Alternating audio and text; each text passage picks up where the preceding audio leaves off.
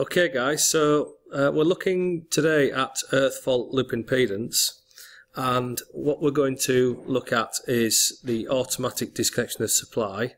We're going to talk about the earth fault loop impedance path and we're also going to look at how we can determine the disconnection time of a particular protective device. So here on the screen uh, in front of us is a typical circuit, uh, distribution circuit. Um, I have along here, this is our number seven, so I'm hoping you can identify what the parts are. But number seven is our substation winding, so this is our supply uh, along our line. Number one is the consumer's fuse. Number two will be the fuse in the uh, final circuit uh, of the distribution board. Three is our live cable, our line, so our known as our R1. So that's what our um, this is the live conductor of our final circuit would be. Uh, obviously load, so that's what we're plugged into. Four is the return neutral, uh, which is again known as a live conductor. Six, that's a bolted link. Uh, five, this is the uh, earth. So this is our R2, our circuit protective conductor to this point, our bolted link again. This would be our earthing conductor, and then this would be our supplier's earth. Uh, can you remember uh, to identify the parts? So what I've done there is here is I have uh, obviously got the parts here. So let's just put a ring around there and move these over so we can see what these parts are. Like so.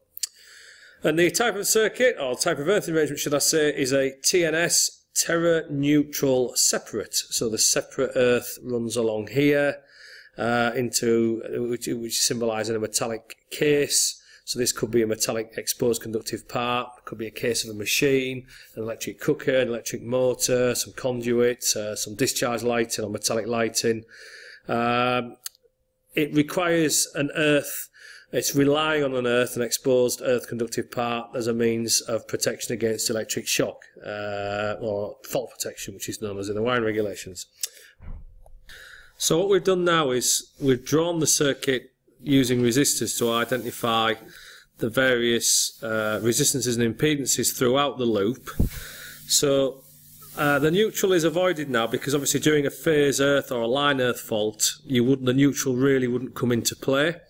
So just from the left to right, this is our supply transformer in our sub. So we've got a little bit of reactance in there, X, hence why uh, we have a impedance Z, well we're dealing with the impedance, uh, combination uh, of resistance and reactance of the transformer. Uh, ZE is the supplier's impedance um, of their line.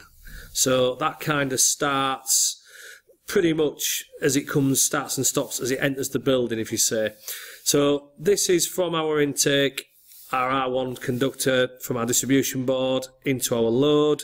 And here we have a nice little earth fault. You can see there there's a breach onto the live casing. Uh, and the earth current, the fault current now, to keep that obviously from remaining live, we want to send the fault current down the earth, so R2 and back to the supply. And that is our complete circuit. You can see where the arrows are flowing around here.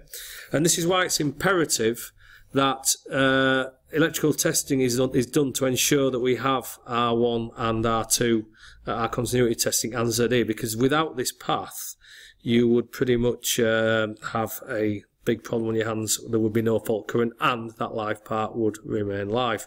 So let's look then further down here you can see there that ZS is the total earth fault impedance. ZE, well that will be our electricity board. Uh, that's where we can get that from by measurement. R1, R2, that's our R1, R2 reading, so that's our final circuit of our line and our earth. So the earth fault impedance is ZE plus R1, R2. Okay, and I've put a little note down there, uh, just on what each one stands for. Okay, so this is the actual fault path current where it would flow. Uh, and obviously what I haven't drawn in here is a fuse. So the idea here is if I put a, draw a fuse in there like so, is that we want the current to be of a magnitude which is great enough to cause this fuse to rupture.